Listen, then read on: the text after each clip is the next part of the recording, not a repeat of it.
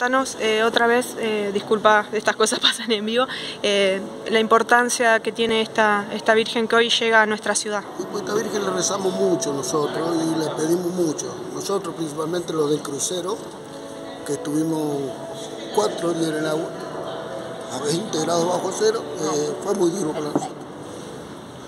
Entonces era, rezamos la noche, los cuatro días sin parar.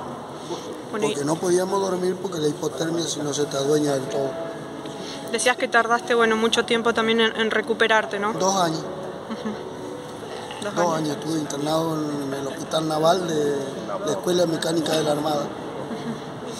Y la, bueno, la, la Virgen te, te acompañó en todo este momento, y la. Virgen también de, de los mares, que es muy devoto. Sí, Estela Mari la tengo en un mural que tengo frente a mi casa.